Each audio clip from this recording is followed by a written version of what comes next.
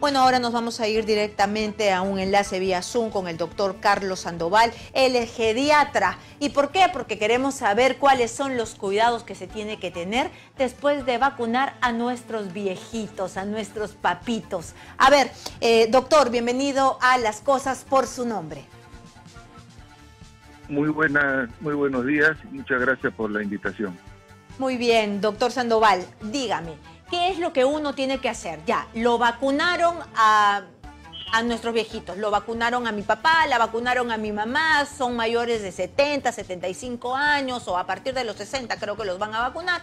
Entonces, ¿qué se hace? ¿Qué se hace con ellos? Los llevas pues en una cápsula casi que no, que, que no con todas las medidas de seguridad y ya, los regresas con las mismas medidas de seguridad y qué ¿Y qué haces en la casa?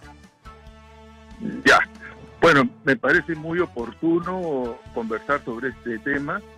En lo particular he recibido muchísimas llamadas preguntando si pueden vacunar a su papá de 80, de 90 e incluso de más de 100 años. La edad no es contraindicación para la vacuna. Entonces puede tener 80, 90, más de 100 años y sí es condición para vacunarse. Ahora, ¿cuándo no vacunarse es una de las cosas que también respondemos. Bueno, un paréntesis, las embarazadas, obviamente los adultos mayores no, ya no se embarazan, pues, ¿no? pero las embarazadas sí están en la lista, en todo caso, es situación muy, muy puntual. Eh, las personas con fiebre no se deberían de vacunar, personas con infecciones no se deberían de vacunar, si un paciente está con resfriado y menos por una infección urinaria, una neumonía, no se debe vacunar Personas con que reciben tratamiento para cáncer o los famosos monoclonales tampoco deben vacunarse. Y los cánceres específicos, hay cánceres que sí se van a poder y cánceres que no. Esos, esos pacientes sí tienen que tener el visto bueno de su, de su médico. Ahora, diabéticos, hipertensos, cirróticos, con artrosis, con asma, con bronquitis, con, eh, con enfisema, fibrosis pulmonar, esos pacientes sí pueden vacunarse. Ahora, le voy a contar mi experiencia, porque yo como médico ya fui vacunado. Fui al centro de San Borja, eh, lógicamente con mascarilla, mi protector facial, me vacunaron y a todas las personas que vacunan la, la ponen en un ambiente de observación por 20 minutos. Entonces me fui a una silla bien distanciado del resto saqué mi celular, me puse a revisar mi correo, mi, WhatsApp y pasó los 20 minutos. Porque puede haber casos de alguna reacción. Hay dos tipos de reacción. Las reacciones inmediatas y las reacciones más tardías. Las reacciones inmediatas pueden ser un desmayo, una reacción alérgica, anafilaxia, en la que se debe actuar inmediatamente. Entonces, eh, todo el personal de enfermería está, y hay médicos, están alertas, entrenados, capacitados para que si hubiera un caso de alergia o reacción anafiláctica, inmediatamente se le administre eh, adrenalina o algún histamínico a la vena o intramuscular. Eso en los primeros 20 minutos ya la persona se la llevan a su casa y en casa puede ocurrir dos cosas muy pero muy frecuentes. Un dolor local, localizado en, en la zona, donde le inyectaron. Entonces ahí se pone un poquito de hielo, un poquito de hielo para que desinflame. Si quiere puede ponerse en la noche, porque si tiene frío un poquito de hidroid. Y también podría, y digo podría, no digo va a presentar, sino podría presentar fiebre. Entonces, en el caso de fiebre, tengan a la mano un paracetamol o dos paracetamol, nada más, eso puede suceder. No es que se va a desangrar, no va a suceder que le falte el aire, que se le va a cerrar la tráquea, no. Esas cosas suceden eh, inmediatamente.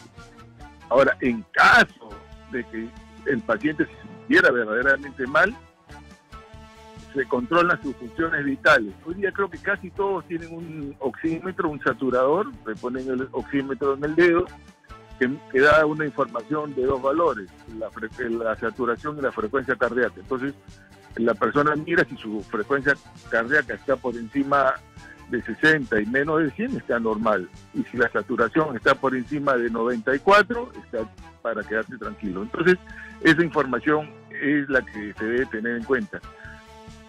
No hay contraindicación por la edad y lo que, como le digo, yo tuve la suerte de que después de mi vacuna no sentí absolutamente nada, ni siquiera dolor en el brazo, ni, dificultad para moverlo, nada.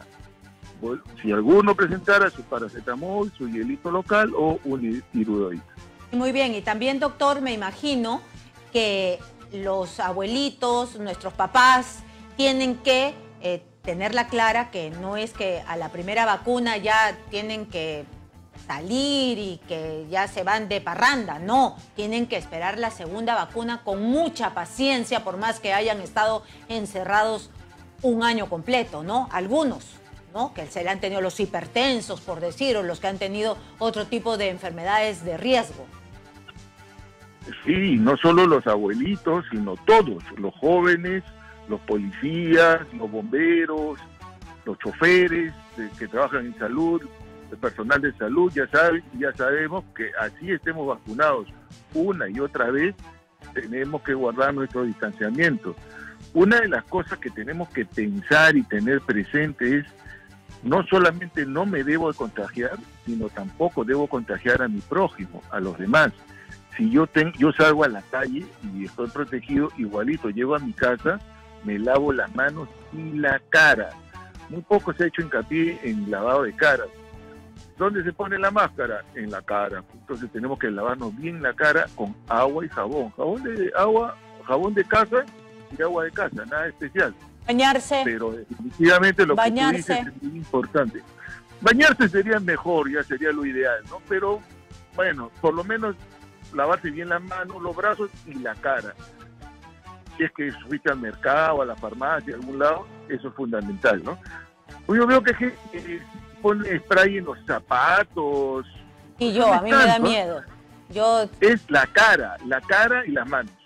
Doctor, y si soy, eh, y si un abuelito, porque estamos hablando de, de, los adultos mayores, si, si un adulto mayor es asintomático, tiene COVID, no sabe, ¿se puede vacunar? Mire, este, y no sabe, una ¿ah? persona con sí, sí, ya le entendí la pregunta, pero la, la, la, respuesta es la siguiente. Una persona con infección no debe vacunar. Una persona con COVID no debe vacunar, no debería. Entonces, si es asintomático, no vamos a saber.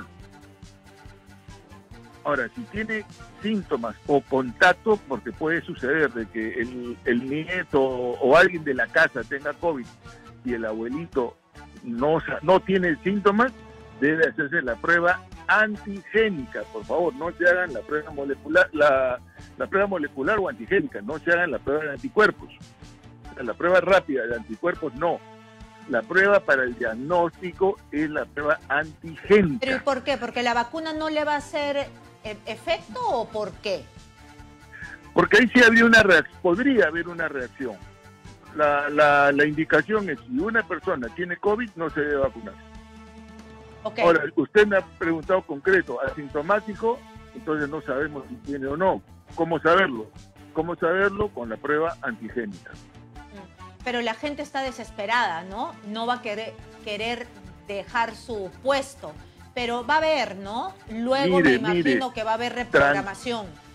Exactamente. Vamos a calmar a la población somos 33 millones de peruanos ¿no? y no se ha vacunado ni siquiera el 1%, no llegamos ni al millón. Se han vacunado solamente 100 mil peruanos, que son los, el personal médico que trabaja en hospitales y fuerzas armadas. Todavía no llegamos ni al, ni, al medio millón, llegamos, ni al cuarto millón. Paciencia, durante todo el año va a haber vacunas pero no sería prudente vacunarse con COVID. No, no, yo sí como médico digo que no. Con el COVID no. Y me imagino que con los viejitos van a tener mucha paciencia y ellos van a poder reprogramar. Muy bien, doctor. Muchísimas gracias. Claro que sí. y permítame dar un saludo a, todas las mujeres del Perú por, y, del, y del mundo, porque esta, esta radio también la escuchan de todo el mundo, por el Día Internacional de la Mujer.